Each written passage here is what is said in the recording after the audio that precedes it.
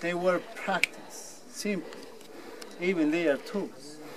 To split the rocks, no, they were using simple tools like chisels, bronze chisels, hangers, and then they were searching one side of the huge rock of the quarry that we located now.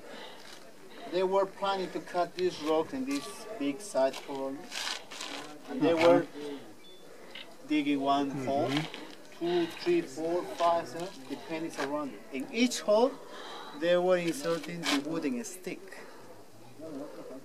no, Uh-huh. like a nail, Right. and then water, a lot of water. Oh, so Oh, then the that's separated. up. water and then waiting for the sunshine. Uh-huh. When the sun hitting and the wet wood expanding, the white granite rock hot, splitting itself.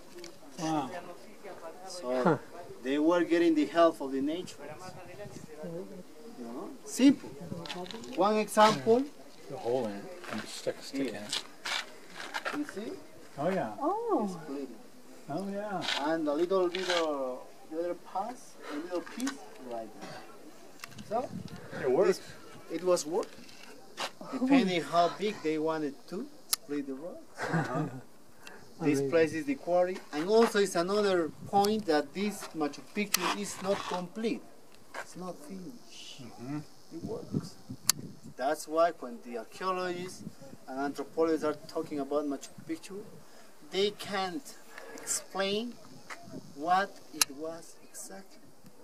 Because they said, how do you know it if Machu Picchu wasn't finished? Not. It's like you're building your house, you're planning to build your living room, your bedroom. So some people take this idea. But the evidence on the other side is telling us. This evidence is and telling another. So would some of these rocks be ready to do something with that they aren't, or are they put there? It was one natural erosion more than two million years ago. But oh, so they were already here. Yes. So they found probably a good place to split the rocks and they chose this place to build. Hmm. And also, Machu Picchu now, it's located at the edge of the highlands and jungle, where the worst enemies of the Incas people living, where the wild people didn't want to be under the Incas power. But these Incas people rebuilt Machu Picchu, like a someone or the Catholic people building the cathedral in Cusco to push them to the Catholic religion, right? But these Inca people were building Machu Picchu to show them that the Incas were superior mm-hmm. because they were building Machu Picchu, getting a better technology than them, better knowledge than them, and also to control them. That's why when the archaeologists found skeletons, according to Hiram Bingham,'s you know, expeditions, more than 180 skeletons were found in Machu Picchu.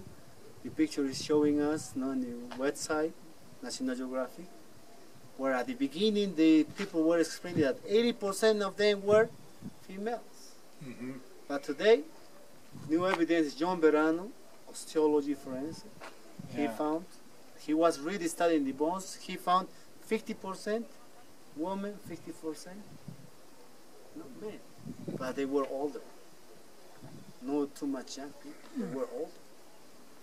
What they did, they found some, like uh, some scars in the bones. They were like that, sleeping, they were lie down. It's not a tomb, it's not a cemetery. Oh. Someone have to kill them. Probably when the Incas people had the civil war, the men left this place to help or to be safe. The worst enemies of the Incas were climbing up here and they were marked. Hmm. Before, no, people knew this place. That's why this place was abandoned. Another point is probably with malaria or chickenpox, this place was found. No, was infected. People were dying. The people that were mm-hmm. well, they have to go away, taking mm-hmm. all the treasure and artifacts.